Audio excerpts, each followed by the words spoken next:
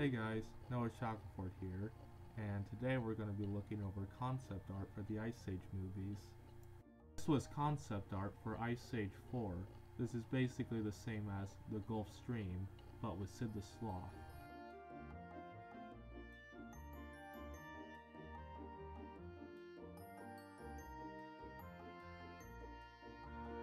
This is concept art for Ice Age The Meltdown. I don't like this one as much because the giant ice chunk in the background looks like it's about to tip over. This is another one I like. This is from Continental Drift, and this seems to be an early version of Granny's pet Precious, which had a whale design in the movie, but an early concept art it looked like it had a kraken design.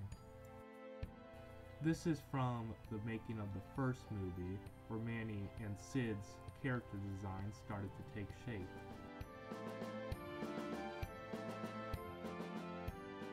This was early concept art for Geotopia.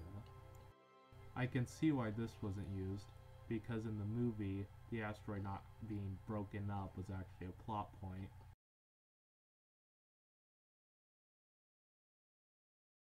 This right here is actually Sid the Sloth, or one of the designs they were thinking about when creating the character.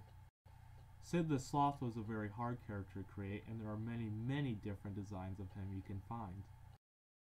I like this one because it really shows Julian's personality.